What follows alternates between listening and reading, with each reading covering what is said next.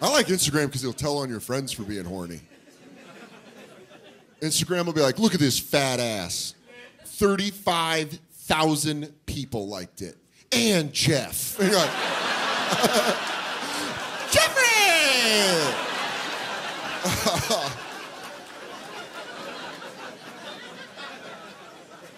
Because that's what happens when you when you get too horny, you get in trouble. That's just, as a man, if it breaches the horny level, you're gonna do something stupid.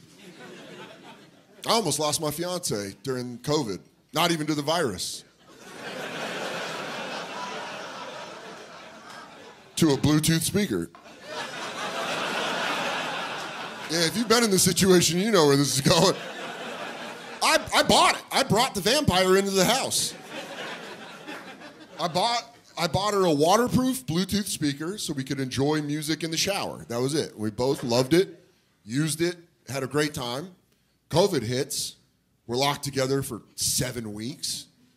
By around week five, you know, she's taken a pretty long shower. And I was in the living room and I was like, I could probably watch some adult entertainment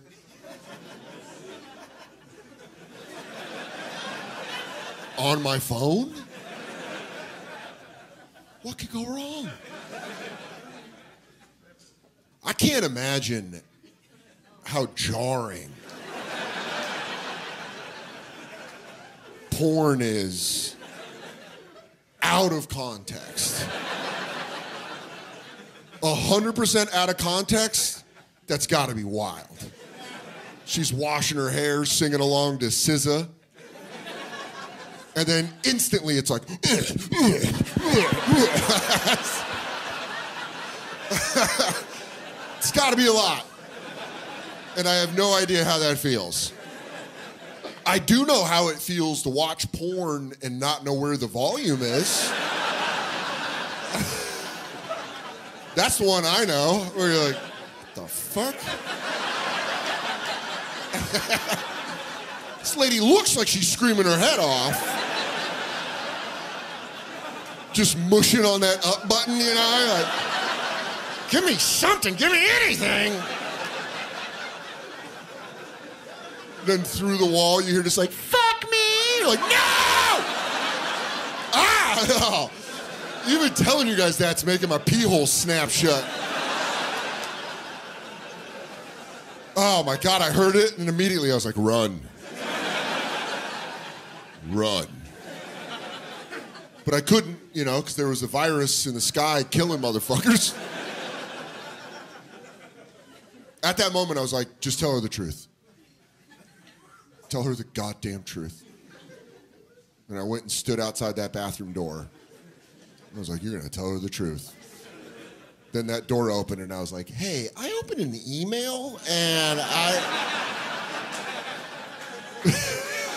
Verbatim what I said.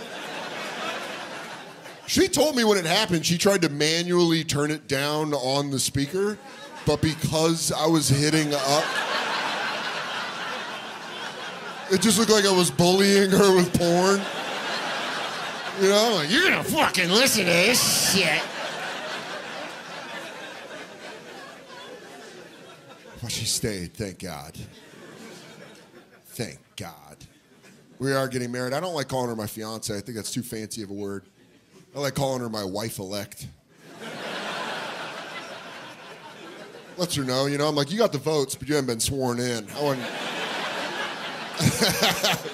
no politics.